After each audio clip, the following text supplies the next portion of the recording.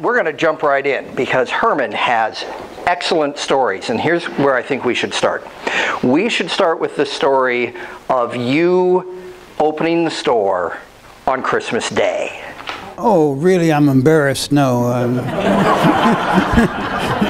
Let's turn on your mic. There you go. do I talk into it? Okay. All right, I'll tell that story, and then you have to forget it, or I'll be, or I'll be crucified. Please ignore all the cameras in the room. We were downtown at uh, the address then happened to be 222 Second Street, which was a phony address. The real address was something else, but I like the idea of three twos. And um, so um, I conceived the idea of opening on Christmas Day. And uh, my wife didn't like it. None of the employees would come to work. So, and it was, I ran a little ad in the paper, two inches high and two inches across, and said, for the real procrastinators, uh, open today, uh, noon to four. Okay, I went down alone, and there was about 10 or 15 people jammed up in the front door waiting to come in. And um, I was alone, waiting on 15 people. And the phone never stopped ringing.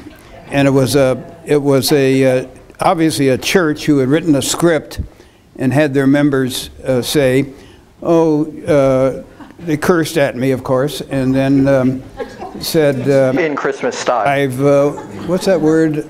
I'm sac- saccharin the Lord's Day, um, disparaging the Lord's Day.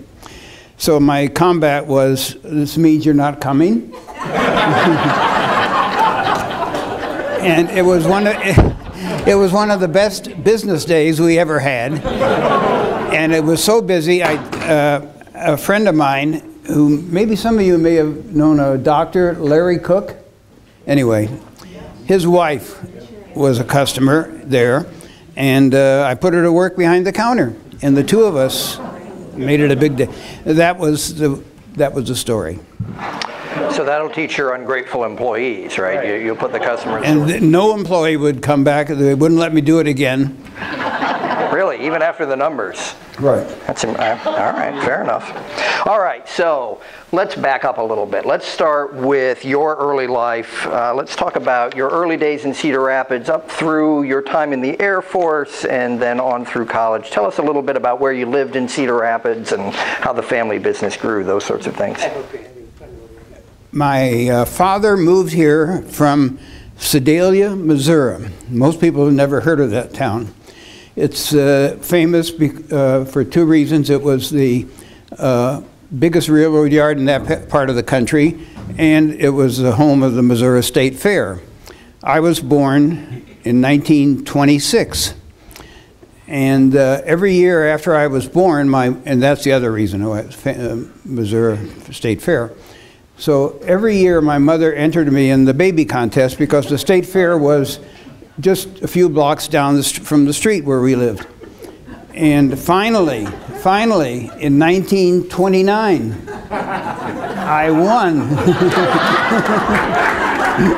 I was I was the blue ribbon baby of the state of Missouri in 1929, and I have the trophy at home to prove it. then my father moved here. He heard about a store here in Cedar Rapids. The, the owner died. The um, widow wanted to sell the inventory.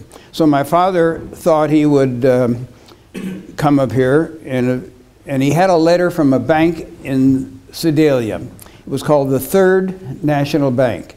The First National and the Second National both went broke during the crash a year before. So it was reorganized and called the Third National Bank.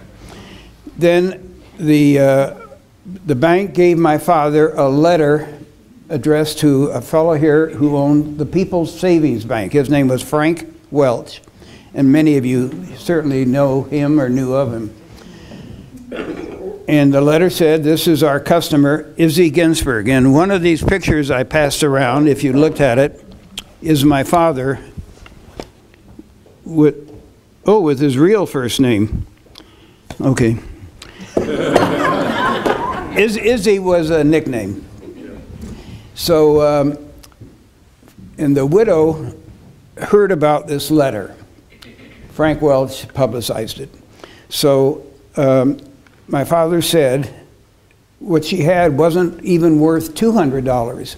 But he repeated and repeated that the, um, he thought he was in Paris compared to Sedalia, Missouri. And he often, throughout his life, he used that phrase. He thought he was in Paris, France, when he was in Cedar Rapids, comparing it to Sedalia, Missouri, which was, which was happened to also be a segregated town, even though it wasn't that far south. It was uh, 60 miles east and the same parallel as Kansas City. My father came up here, but he didn't like to drive on the highway. So he had a, a black friend drive his car with him as a passenger. Uh, Cedar Rapids was in the north, not segregated. This was 1930, December of 1930. However, and my father would go to eat at a restaurant which was on the corner of First Street and Second Avenue downtown, the exact same corner where the, the Alliant Tower is now. That restaurant wouldn't let the black uh, chauffeur, so to speak, I'll call him a chauffeur, uh, he would, they wouldn't let him in the restaurant. And no hotel uh, would let him in. So he stayed somewhere in the southeast part of town, which is and I've always uh, bemoaned that because Cedar Rapids isn't segregated, but it sure was. So we think we're so enlightened, uh, think again. So uh, my father had to go to the restaurant, bring the food out to the car, and that's how he ate. My father didn't know what to do. This lady wanted $2,500. She had, by the way, she had three sons. Two of them were professors I think, at Harvard. One was an MD doctor in Colorado. So these three kids, three sons, were certainly not interested in a dinky little uh, store in Cedar Rapids, Iowa. Anyway, my father was standing on 2nd Avenue, right across the street from the Merchants Bank building. And he saw a little boy who looked like he was about 10 years old. Did I ever tell you this? You did. Oh, I was going to ask you about it. Okay. and be, following behind the boy were a bunch of adults, maybe uh, 15 or 20, just chugging along on the sidewalk across Second Avenue. And a picture where, where he is. So he asked someone, uh, What's going on? And someone said, Well, that's Billy the Wonder Boy. Billy the Wonder Boy was a 10 year old kid who was on the stage at the Iowa Theater, is what it was called. It's now called Theater Cedar Rapids. And they, uh, it, is, it was no longer playing movies, but it was a stage theater. So this fellow told my father that Billy the Wonder Boy was on the stage there and he would answer questions from the audience. Now, this is an old trick that many, uh, it might be a con game, but whatever. So my father crossed the street and he joined the crowd. And Billy, 10 years old, wanted to, it was Christmas time, so he was going down Second Avenue to a department store called Newman's Department Store, if anyone have ever heard of that. It was on the corner of Second Avenue and Second Street where United Fires, uh, I think their main building is now. So they all followed Billy up to the fifth floor where the toys were, and Billy was ignoring the crowd and playing with the toys. And my father said he worked himself to the front of the crowd and he said that he asked, he yelled out, Billy, what should I do? And Billy said, buy it, buy it. And my father said, buy what? He said, the hock shop, where, they take, where you take your watch. Because it was a pawn shop. It was known as Rozen's Pawn Shop, that, where the owner died. He was Mr. Rosen, R O Z E N. So my father snapped his fingers and said, that did it. So he gave the lady $2,500 for $200 worth of nothing. And uh, we've been here ever since. Business advice from Billy the Wonder Kid. led to an empire here in Linn County. Um, did your dad talk at all about like that's a big leap of faith? How how did how did he decide to put his faith in Billy the Wonder Kid? Let me think. Well, obviously, Billy the Wonder Kid was a wonder kid.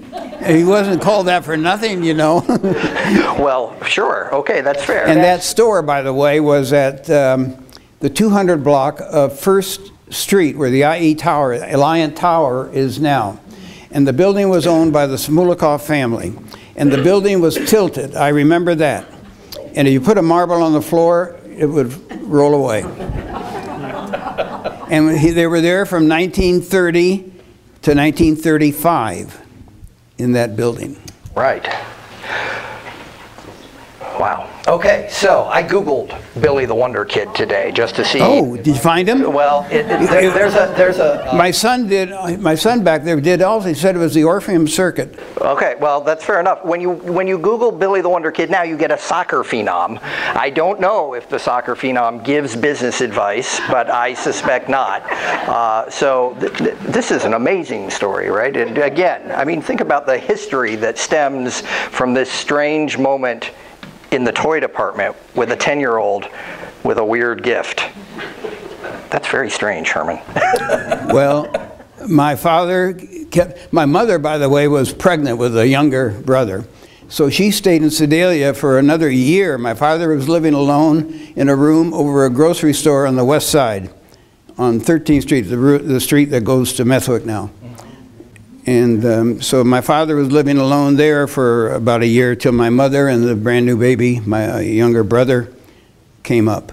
How do you suppose your father explained to your mother in Sedalia that he'd taken the advice of Billy the Wonder Kid? She thought he was absolutely out of his mind. And she often said that about other, other things. Did everyone see his picture? This was my father. And it was in, I don't know, 1925 or so, 20. He was the oldest of four. Each one was five years apart. Later, I thought, oh, five years apart, that's not very normal. So I thought my grandmother, um, who had my father first, must have had some miscarriages because if you have someone born in 1898, my father, and the next one is 1903, she had to have at least one, maybe two other children miscarried and continue. And the, the third one was another five years later, and the fourth, their fourth one, who all would have been my aunts and uncles, and there, by the way, is my cousin, the son of one of my one of my father's brothers. So um, anyway, maybe there would have been eight instead of four.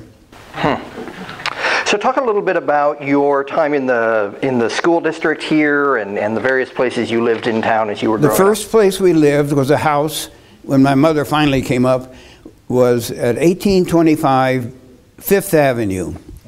And I've often driven by there and I'm not impressed. up. I live in that neighborhood. Come on now. Across across Fifth uh, across 19th Street, which was a cross street, and still on B, on Fifth Avenue was a Coe professor named Beardsley Ruml. Have you ever heard that name? I have not. No? It's famous. When they deduct income tax from your paycheck, it's because of Beard- Beardsley Ruml, who was an economist. He was a professor at Coe, later uh, went to Washington and was in the Treasury Department, I think. What do you think of that? And it's all his fault. Yeah. And, and he lived up the street from you. He lived on the corner of Fifth Avenue and 19th Street, Oh, Amazing. All right. in a big house. So you went to, you would have gone to All right, from, all right, uh, well, first, from 1825, we finally got out of that house and moved to 118. See, everything had an 18 in it, not by, not, not by design, just happened. So we moved to 118 27th Street Northeast, and that's only a block away from Arthur School. That's where I started, um, I was six years old probably. And then we moved to um, 1811 Beaver, where I then transferred to uh, Johnson School. And the Johnson School that's there today is not even similar to the Johnson School I went to. We had a, uh, a wonderful principal whose name was Miss Thompson. Thompson. This is a former Johnson School inmate. So, so um, then um, re- there were many classmates of mine at Johnson. All are dead, everyone. If, I'm the only one alive. And they all went with me to Franklin High School, which then was 7th, 8th, and 9th were called junior high, 10, 11, and 12 was called senior high, and the name middle school was unknown. We never, there was no such a thing. And so then you graduated from Franklin. Franklin, yes. And they had two different kinds of graduations. Uh, If, for example, there was an A and a B. If you uh, graduated in June, you were in uh, 10A. If you graduated in January, you were in the B class. I was uh, June of 43, 1943. I should have been in 44 because they started me too early. Not that I was bright, I'm just a C, C, C student, yeah. then um, in 1943, like every other guy in my class, and I call them guys, uh, we enlisted. The war was starting. Actually, we enlisted in 1942, but none of us were called up yet until we were 17. So uh, I skipped the graduation ceremony and uh, went, started at the university in summer. Um in June of 1943, the year I would have, the year and the month I would have graduated high school, and just started Iowa University and uh, waiting for to be called up, which I eventually was.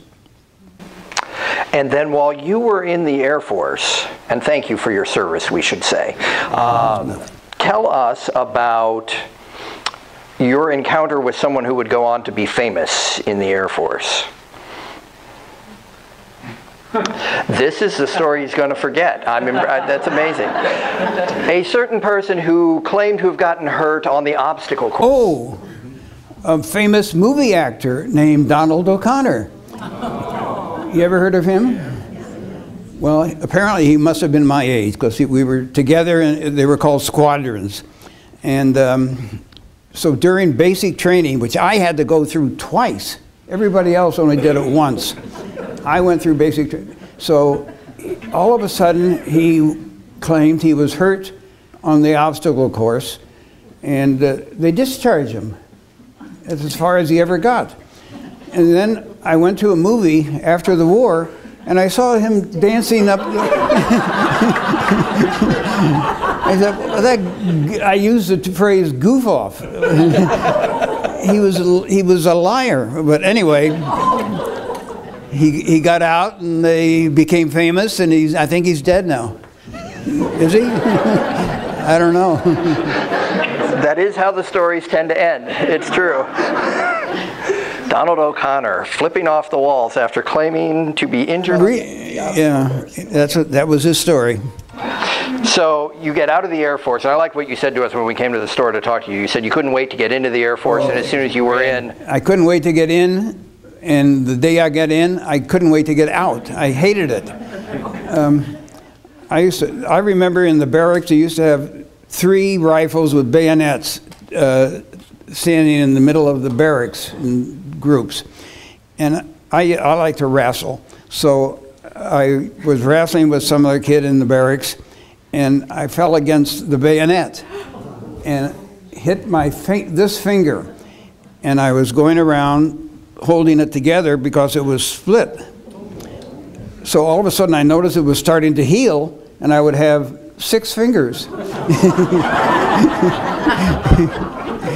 so I uh, went to the hospital and they fixed it up, and uh, you can still see a little bit of the scar.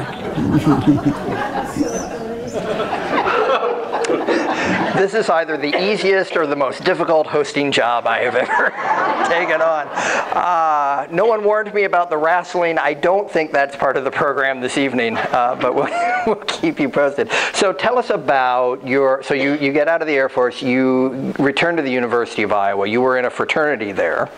Oh yeah. Well, um, I finally. Um, well, when I came back to Iowa, I didn't know where to go. My younger, a younger brother, Lou, his name was Louis, Lewis, and um, he played football at Franklin High School. And he would, during high school football practice, he would run away, get on the Crandic, if uh, everyone here has heard of the Crandic, and uh, go down to Iowa City in his high school football uniform and the cleats and all that stuff and he would find his way to where the university football players were practicing, and he would run around with the big boys. And then at dinner time, he wasn't there, so my father got always got so mad. He had to drive to Iowa City, find him, pick him up, bring him back. But he did this many times. Um, later, Louis did play at the university football. Where was I? Seems like the least they could do is let him play, right? After being in trouble with your dad like that all the time. No, we were uh, going to talk about the fraternity. Okay. When I got out of the Army in, in 1945, the war was over and they dropped the big bomb. So they discharged my whole entire unit. By the way, when I was in the service, I was at a Air Base in Hobbs, New Mexico. It was a base where they were training tail gunners for the B 17 airplane and co pilots for the same airplane. The tail gunners couldn't get in through the plane in that little bubble they had at the back of the plane. So they had to reach up and pull themselves up feet first into that thing. A lot of the young boys who were learning to be tail gunners would get airsick and they would vomit all over. Well, my main job was to. That's what I always did. Whenever they got airsick, they gave me a hose, and I had to go out there and climb up and hose that out. And and by the way, that's where Roswell is right next to Roswell, where all the alien, the people from Mars are there. what happened at that fraternity that you don't want to talk about? Oh, the. well, um, my brother had also started summer school at Iowa about 1944, I think. He was a couple years younger than me. So when he started Iowa in the summer, he uh, lived at a fraternity house on Dubuque Street. I can't remember the name, Sigma something. So, um, so when school started in September of that year, my brother thought, oh, he innocently thought, well, we'll just stay there and join the fraternity. Well, he was blackballed for ethnic reasons. So um, the other fraternity, which he eventually joined, was called Phi Epsilon Pi, which was a bunch of other ethnics. So um, they, they didn't have, all the other fraternities had athletes. This fraternity that wanted him wanted an athlete. So they picked him because he was the right ethnicity and uh, he was on the football team even as a freshman. So, okay, so I went over there and just moved in.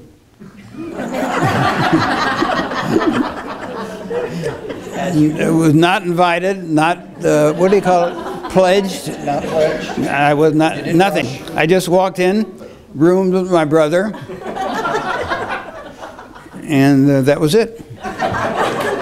But we had the highest grade point average of any of the other fraternities every year, constantly, because they graded it. Even, even after they let the one athlete, your brother, in. Yeah. They, they kept the, the, There are a lot of other stories I'm just not going to repeat. Remember, he was willing to talk about Roswell rather than continue to talk about the fraternity. One, my, bro- my brother, um, my brother was captain. They used to have a captain on each game instead of for the season then. So one game, Iowa was playing Minnesota, and they had, my brother weighed 185 pounds. Minnesota had two big All Americans. One was named Leo Nomellini, who no one's heard of, I guess. And the, oh, you do? And the other was a fellow whose last name was Tonnemaker. Uh, anyway, they're from Minnesota. So, so at, for that for, for that particular game, my brother had broken a bone or two in his hand from some previous game. So after they flip the coin, you're supposed to shake hands. So instead, he just turned his back on these two guys, who were the co-captains of Minnesota, and walked away. So they're sitting there with their hand, standing with their hands out, and no one's shaking them. And that was all on film, apparently. So um, that made him mad. And you can imagine two big guys like that. And my brother was a left guard. These two guys were right on the line, too, I think. They beat him up terribly uh, for the insult. But he saved his hand. All right. See, you guys have trouble with your hands. You, six fingers for you. Six, yeah, right. Back to five. There you go. Okay, so let's talk about the store. Let's talk about all the locations of the store. And As I said, the first store was at uh, 2 something First Street Southeast, where the IE Lion Tower is now. After the first term of the five year lease was up in 1935, uh, Smulikov propositioned my uh, father that they have an empty room. And of course, the room he was in was being condemned. But the, around the corner on First Avenue was a room, empty room, and around the corner on Third Avenue. In those days, in 1935, First Avenue was a busier shopping street than Third Avenue. So my father picked the Third Avenue location. And what, did I say that wrong? anyway, uh, no, he picked First Avenue. That, that's what I meant to say. And um, in that First Avenue store, he was there from 1935 to 1940. But in that five year period, he conceived the idea of having an, an accordion band. And he hired two brothers and a cousin, all named, uh, last name was Girardi. And they were accordion players from Oelwein, Iowa. So they organized and they were giving accordion lessons. My, we were selling accordions in addition to other strange things. we, one of the, we sold barn red paint, only one color. We sold paint in a jewelry store. And um, we, whenever my parents and I and us went riding Sundays, he, that's my paint, that's my paint, that's my paint. So barn red. Oh, that's why could be why all the barns around here are barn red. So anyway, we had this um, amateur hour, and the WMT radio was would come into the store with a uh, with an announcer whose name was Bert Puckett, who no one's ever heard of. This was in the 1935 era. So Bert and, and my father had a gong you know, he knew nothing about music. He enjoyed classical music, really did. But if he didn't think the singer or the, or the violinist or the, were good enough, he would gong them out. And he, and he called it and he called it Ginsberg's original amateur hour. Which it was. It was his original amateur. So he um, later he showed me a letter from a nationally known uh, amateur hour uh, head, head of it named Major Bowes. Now, has anyone ever heard of that? He was on radio, and it was, um, he's, his letter said he wanted permission to call his show Major Bowes' original amateur hour.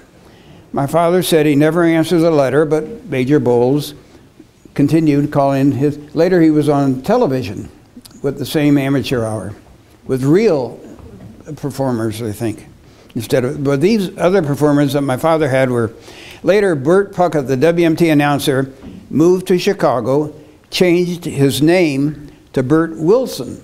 Has anyone ever heard of that name? He became the, the announcer for the Chicago Cubs, and he was just before Harry Caray. Harry Caray became more famous, I guess, but Bert Puckett was there for several years before Harry Caray. So your your father would. I just want to make sure I've, I've got this right. He would gong the violin players while voluntarily putting accordion players on the stage. Is that right? Yes, but if they weren't good enough, he'd gong. Oh, he would also gong the. And he, uh, one of uh, these Girardi brothers became teachers of accordion, uh, of the accordion. One of their only famous one was, um, there's a guy whose name I can't remember, but he became, he had a band here in town also for WMT. Leo Greco. Yeah, that was it, Leo Greco. So Leo Greco was taking lessons from Al Girardi. And I have a picture somewhere of the entire accordion band, and my brother and I, in our Cub Scout uniforms, are in front with the baby accordions. We were probably seven or eight years old then. Working toward that accordion badge, right? All right, so there are more stores to come. You've only moved a couple of times at this point in this. Okay, 1940, we moved across the around the corner to 205 Second Street, which is in the lobby of the security building, which was owned by the Light Company. And uh, Sutherland Dows was the owner or the president of the Light Company. You know Sutherland Dows. and um, his Sutherland Dows' daughter married Duane Arnold, who everyone has heard of. And, uh, and they had a son also named Sud Dows Jr. And he and I together went somewhere and we got our first social security number. So whatever my number is, his is one number different on the end. Sud Dows Jr. And by the way, Sud Dows Sr. owned all the land where Sutherland Square is now. And the school board wanted to build their high school there, and he wouldn't sell.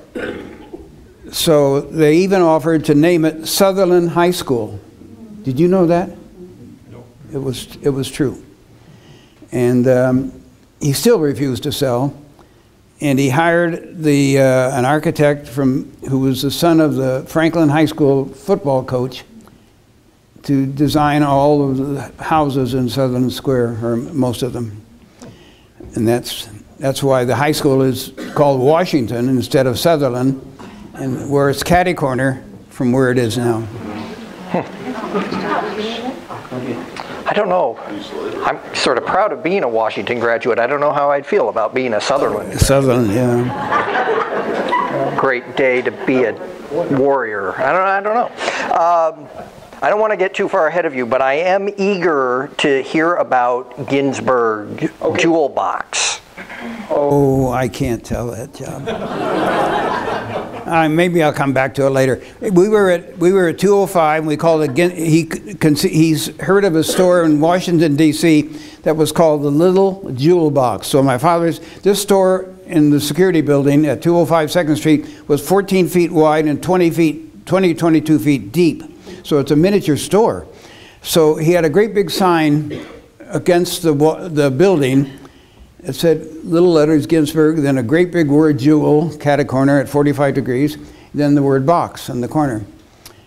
Um, should I tell this story? You absolutely should tell this story. Yes. Well, I take full responsibility. the EL from Jewel and the JEW from Jewel were on two separate circuits, apparently.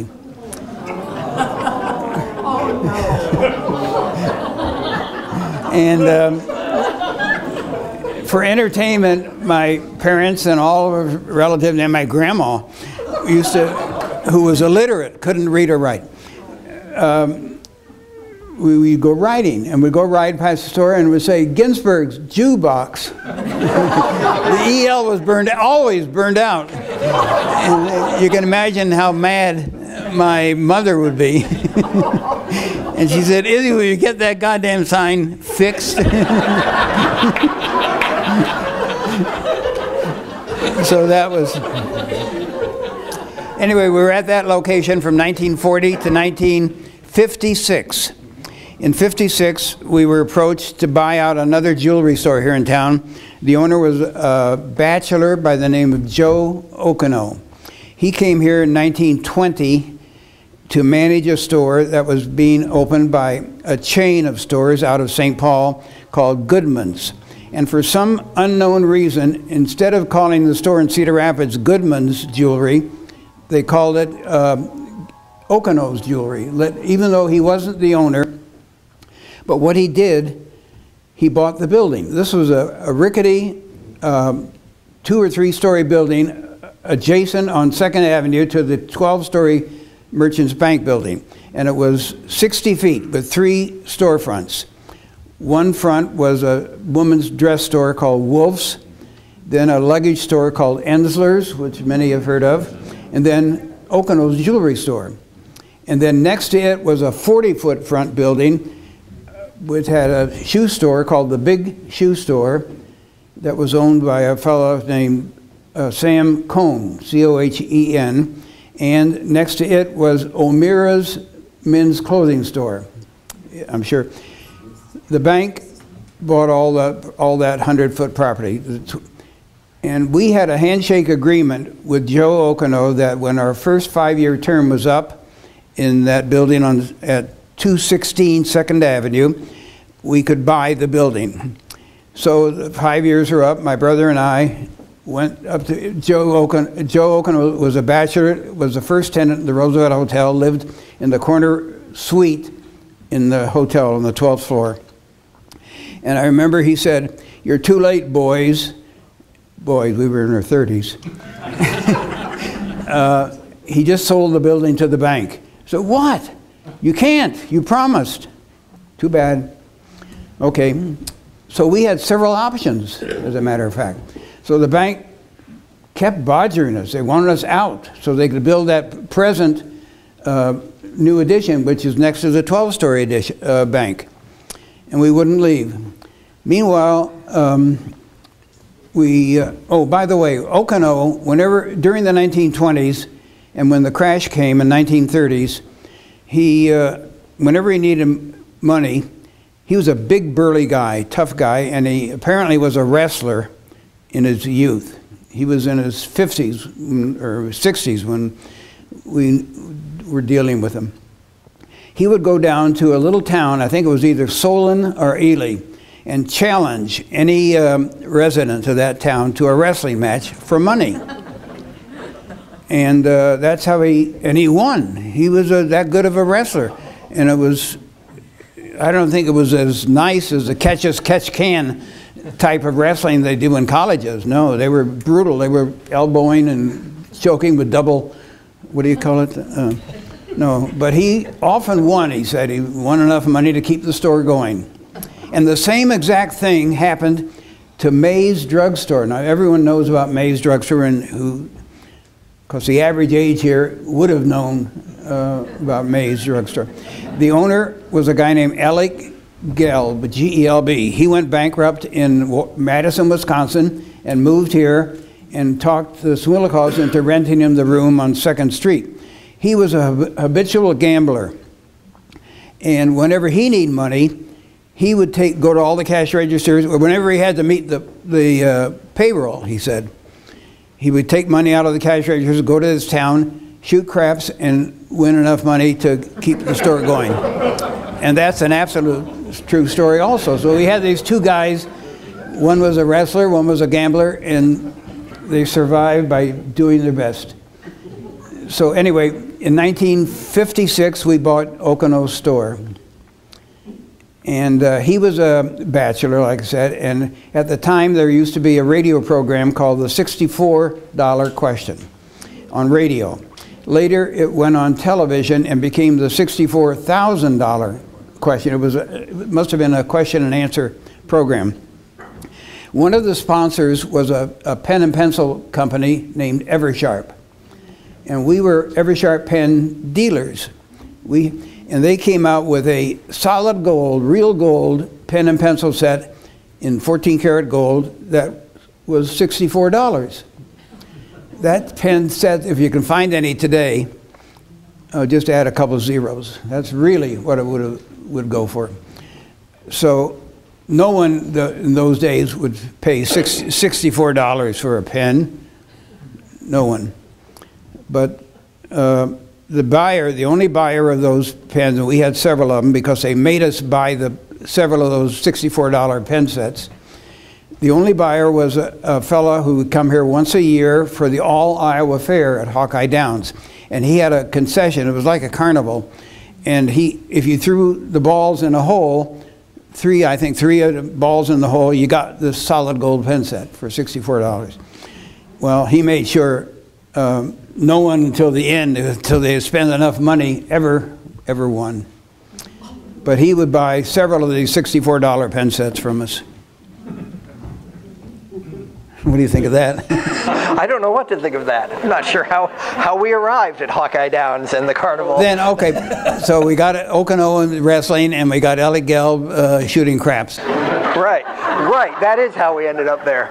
Okay. Then, all right, then from Okino, we did eventually sell uh, the. Um, we agreed to the bank that we would leave early, but we want we owed the bank twenty thousand dollars then, more or less, and uh, finally uh, the vice president, a fellow named S. E. Cocolet.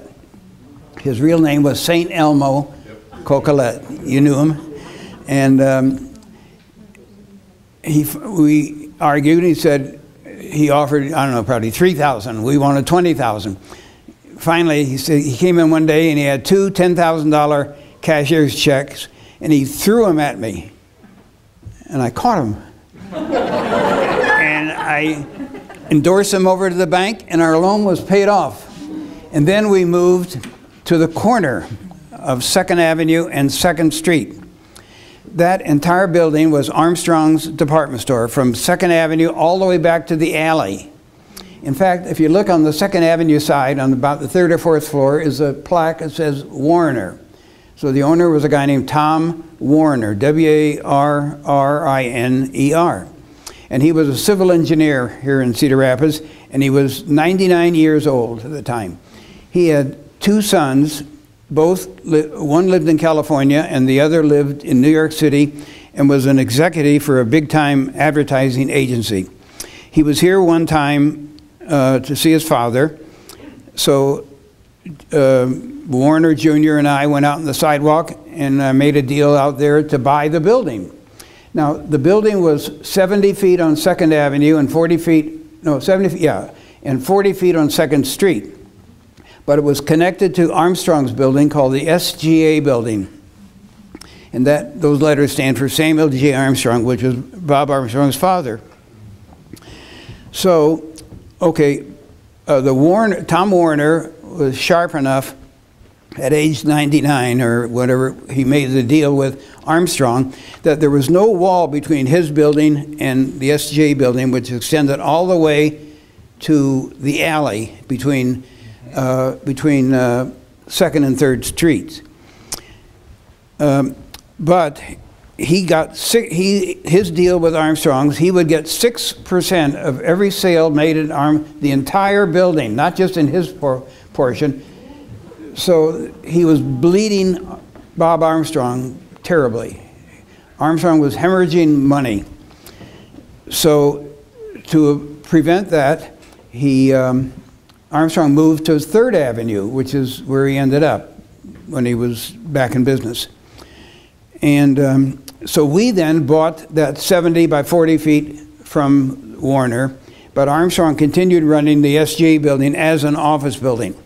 Now, another strange thing about that deal, there was, a, there was an easement, if you know what that is. We started at Second Avenue and it went through that, through the Warner building, through the uh, Armstrong building over to the alley.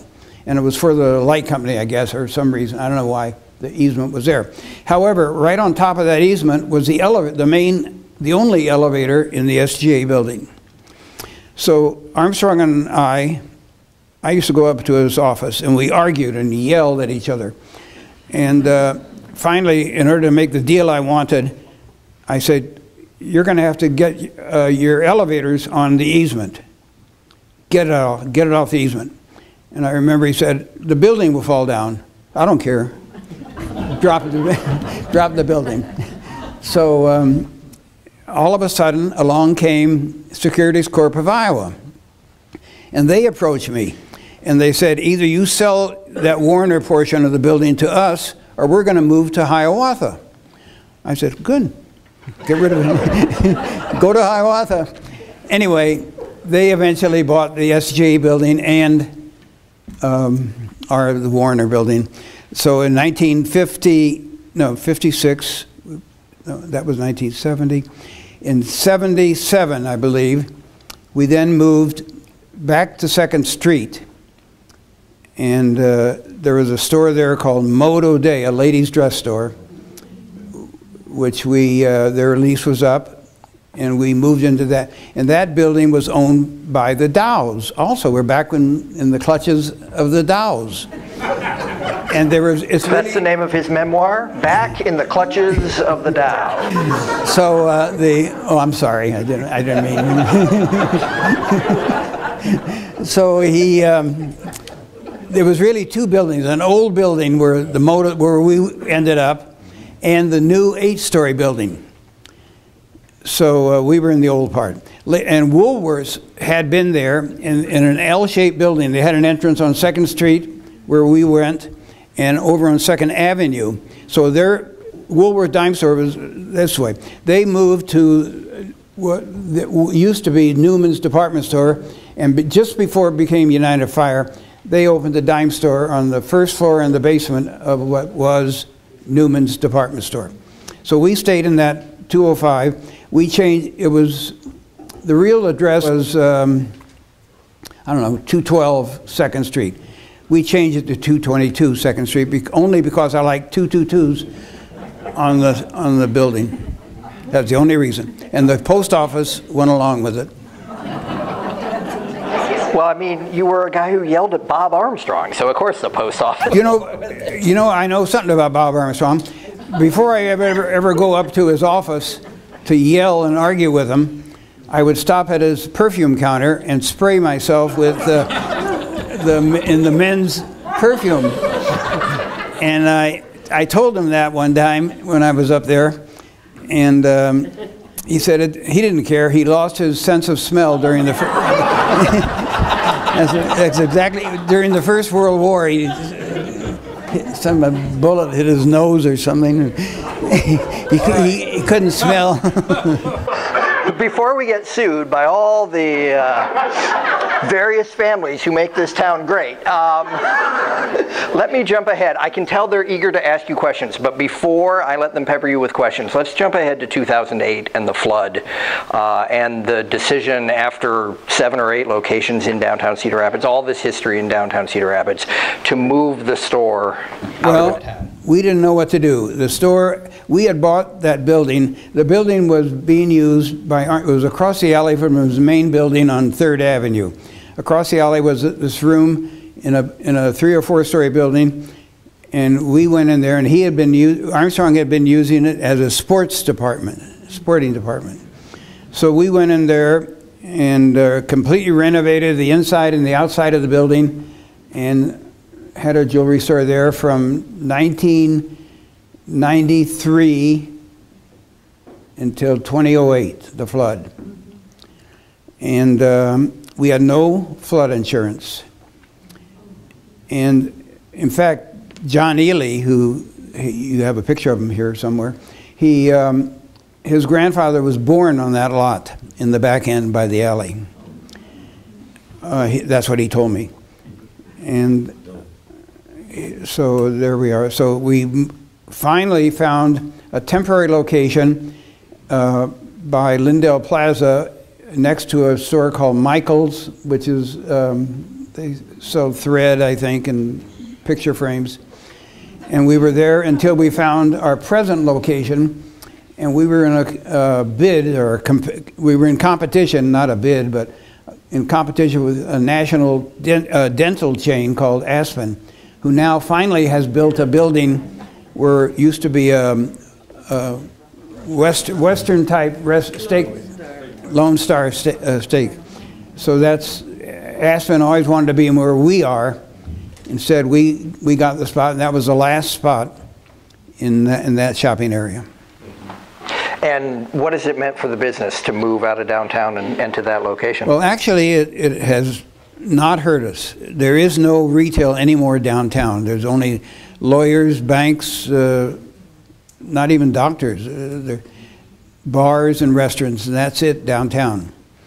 Uh, all retail is now on the outline, shopping centers and the shopping uh, strips. We are in what I would call it a shopping strip.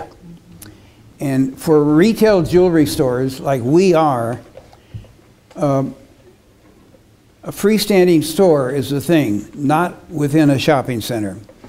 Freestanding stores are what every uh, jewelry store who knows what they're doing is going to have now, instead of being a store within a, a mall. And that's only one of the reasons that shopping centers nationally are not doing so well. But they'll recover. All right, so that brings us to the present. I'm going to open it up to you to ask him questions about Roswell, about the fraternity, about Donald O'Connor, about whatever is on your mind.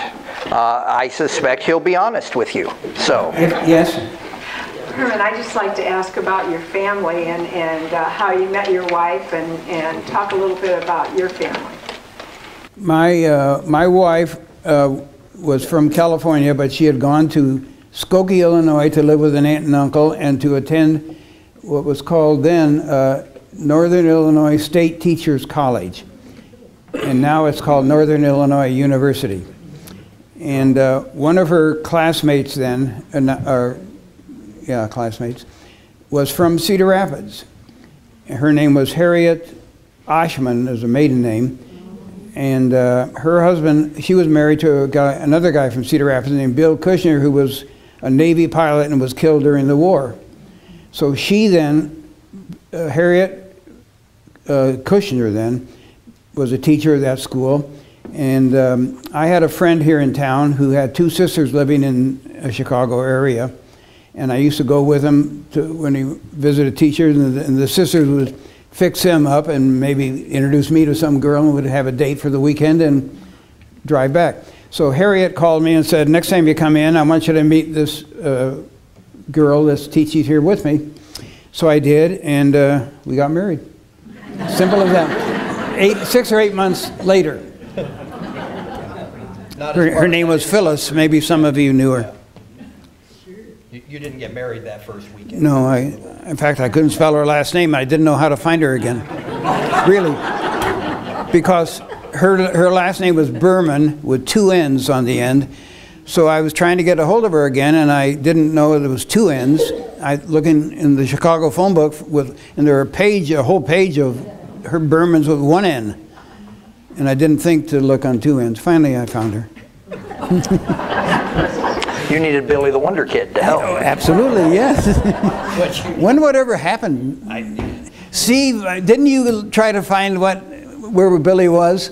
I tried, and uh, under various names, Billy the Wonder Kid, Billy the Wonder Boy, Billy the Whiz, Billy. I, I couldn't find it. Just sitting back there Googling Billy. But he was on a regular vaudeville circuit, wasn't he? I, I, all the circuits that came through town from 1930 to 1935, I, I couldn't find him. So he was really low on the totem pole of acts. if the others got done fast, maybe he would go on, so he probably didn't get paid much. There you go. But John Barrymore came here too, and he was. Um, um, I saw him, and he was a drunk, and I, I saw him walking along Third Street, going from Second Avenue toward the theater, and he was staggering so much, and he must have been in a play or something at the theater. And also, there was another play called uh, Give 'em Hell Harry. And it was a one man play, and I can't think of the name of the actor. It was on Broadway and then came here. And um, so the guy who came here and put on the, was a famous movie actor. And he came in the store, to, watch was broken or something. And also, another famous uh, celebrity who came in our store when we were on the corner was Richard Nixon's brother, who also was a drunk, really a drunk, and he was he was an inmate of the uh, of the estate that Tom Riley bought. The university owned it, and they kept drunks there to dry them out. Lakeside, yes.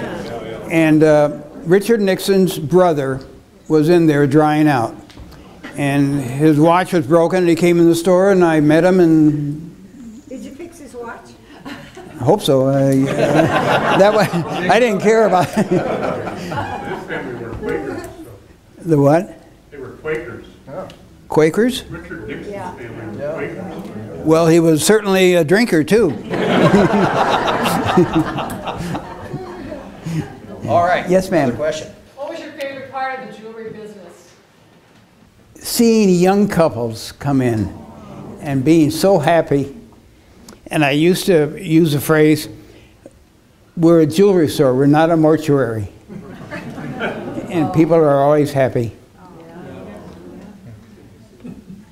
I remember Phyllis told me once about how the payments could be arranged for like 25 cents a week to buy. Oh, we used to have a billboard, Yeah. and uh, our, my father thought, thought up the slogan walk in with a dime and walk out with a diamond. Yeah. What it meant was um, a minimal deposit when you bought a diamond, and the average diamond ring sale then was probably two or three hundred dollars. Now it's just the minimum is probably two or three thousand.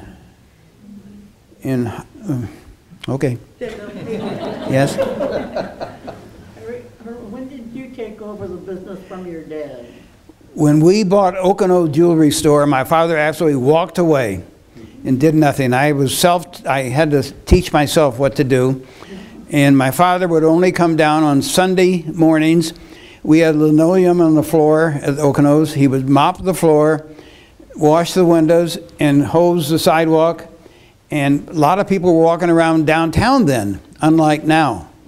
And he, his hobby was stopping people and talking. He would talk about every imaginable subject. I remember often he, sta he sat down on a bench where the crosswalks are at Coe College in the, in the, in the quad area. And as the students were changing classes, a lot of them were going to this, and he would stop them, and he wouldn't let them leave, and would talk and talk, and, and they could only leave if they were going to be so late for the classes. It's really a shame that that gift for conversation didn't pass down to the next. Well, whatever he said made sense. It really did. Okay. I think everything you have said tonight made, made sense as well. Hope so. No more, Sure that, go ahead, go ahead. any more questions? Oh, we do. Did I covered every, yes, ma'am, sir. Herman, what's the most important thing you've learned in your 90-some years? Not just in jewelry business. Whatever you want to tell me. I'm thinking. There are many, there are many, many things. Relationships are absolutely important. That, that overshadows everything. And uh, people who don't pay attention to what's going on in the world do a disservice to the world. And I remember uh, one comment my father also, one of the many, many comments he made if you tell the truth, you only have one story to tell. All right. I think we're going to leave it there. I'm sure that Herman would be happy to talk to you individually. I thank you all for being here. I'll remind you that it's Giving Tuesday. Sign up to be a member for the History Center of the History Center. And uh, be sure to be checking the History Center website for the upcoming holiday events. There's one this coming Saturday, one the following week. Also, coming up soon in early January, Grown Up Show and Tell, which I am very excited about, where you can bring in your things and tell the assembled masses what they are and why they're important. So keep an eye on our website for more information about that. Again, thank you for being here tonight. Please help me thank Herman one more time.